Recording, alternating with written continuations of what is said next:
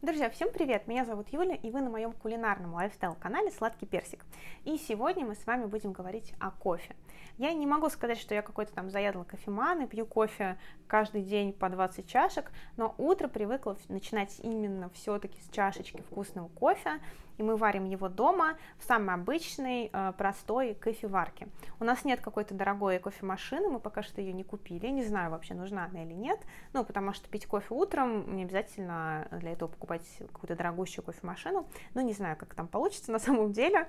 И свою кофеварку мы покупали в Ашане, мне кажется, или в видео, примерно за 1000 рублей, и мы пользуемся уже практически 6 лет. Я, кстати, обязательно сниму на нее попозже обзор, потому что она реально классная, недорогая, и, мне кажется, пригодится каждому на кухне. Но в ней есть один минус, она не молит кофейные зерна. Поэтому раньше мы покупали молотый кофе, засыпали в эту кофеварку и готовили себе утром завтрак. Но потом все-таки захотели, нам захотелось с мужем пить кофе в зернах, и поэтому нам пришлось купить кофемолку. Выбрали мы вот такую вот кофемолку от Bosch. Она есть у них в разных цветах. Насколько я знаю, модель всего одна.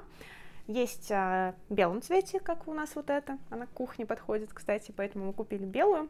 Есть черная, на нее мы тоже смотрели, но обещание покупать, не покупать больше черную технику здесь все-таки сработало. Есть еще в красном цвете и в бежевом.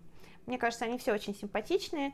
И еще мне нравится, что она легкая. Смотрите, я держу ее в одной руке. Ее вес всего лишь 600 грамм.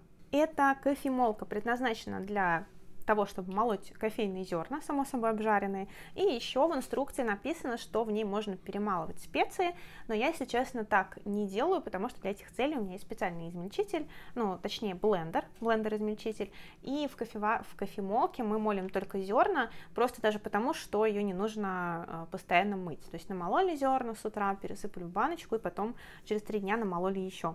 Все-таки если здесь смешивать э, специи и кофейные зерна, то ее нужно будет периодически промывать. Почему мы выбрали именно эту кофемолку, кроме дизайна и а, того, что это Bosch, потому что муж у меня просто фанат Bosch, у него очень много инструментов Bosch, хотя из техники дома у нас только кофемолка и духовка Bosch, больше нет ничего. На паузу. Кроме этого, она еще очень удобная. Здесь всего лишь одна кнопка, вот эта вот.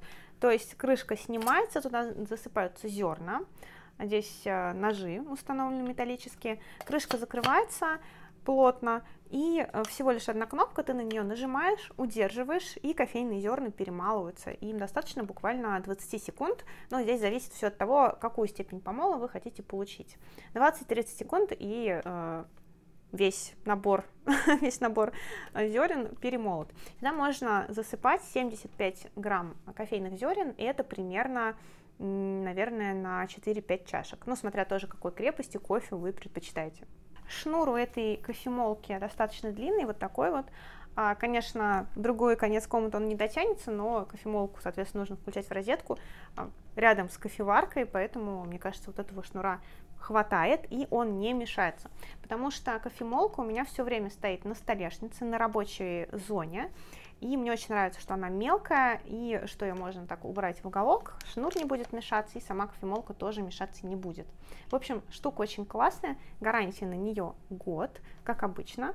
И если вы тоже любите кофе, то я вам рекомендовала бы обратить внимание вот на эти вот кофемолки, которые бывают в разных цветах. Надеюсь, мой обзор был для вас полезен. Напишите в комментариях, если вы тоже любите пить кофе. И не забудьте поставить лайк и подписывайтесь на мой канал.